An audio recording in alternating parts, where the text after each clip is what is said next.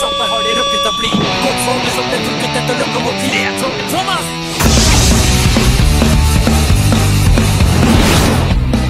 Han er sjef!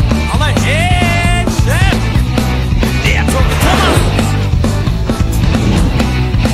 Thomas er driver jobber gjennom gjennomsnittet Her kan du si han omgitt av vennene sine Det er James